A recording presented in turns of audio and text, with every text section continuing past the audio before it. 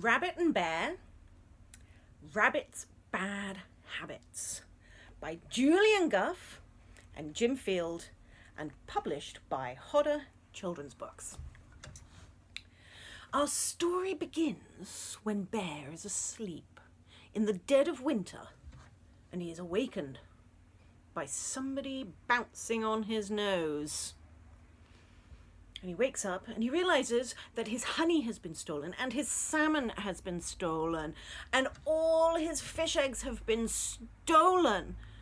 And then he thinks that he might actually be a little bit hungry. And so he goes outside and then he sees the snow.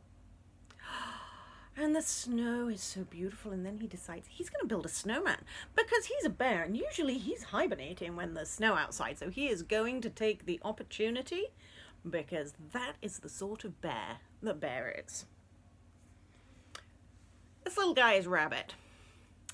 Rabbit is a little bit grumpy. He's also a little bit of a thief. But only because, well, Bear was sleeping. What did he need with salmon and honey and things like that? And this is super, super fun adventure. But here's my question for you. Did you know that rabbits eat their own poo? Did you know that? I did not know that. I did not know that rabbits eat their own poo. Only once though.